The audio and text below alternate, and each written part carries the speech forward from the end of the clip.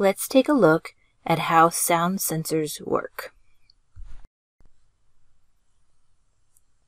Sound sensors work by converting sound energy into electrical energy.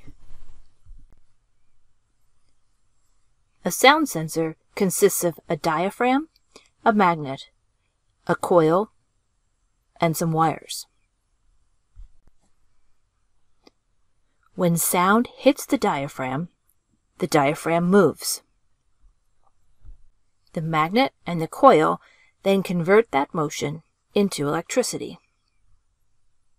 When the sound sensor is attached to a microcontroller like Arduino, the electrical signal can be read. The microcontroller can then be coded to respond to the signal and do things like turn lights on and off in response to sounds.